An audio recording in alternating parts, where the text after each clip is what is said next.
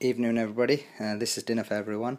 Uh, a very simple salad, which is just uh, coriander, rocket, and uh, spinach, uh, with some cucumber and radish chopped up. A little bit of salt, and a little bit of lemon. Keeping that very simple because that's going to go with the mango dressing.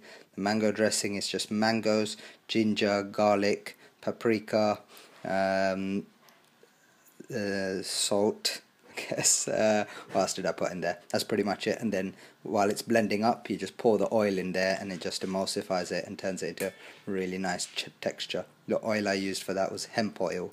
Okay, and then I made a, a, a beetroot and uh, cabbage coleslaw. Okay, uh, a dressing for that I had a little bit of last night's dressing left over.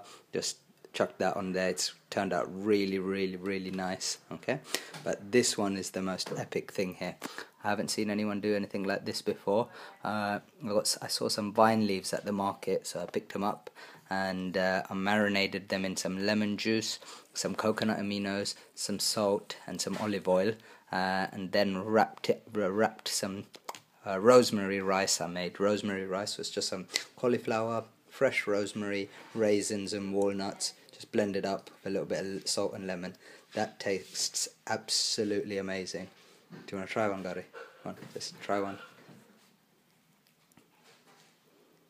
Tell the people how that tastes. Tell the people how that tastes.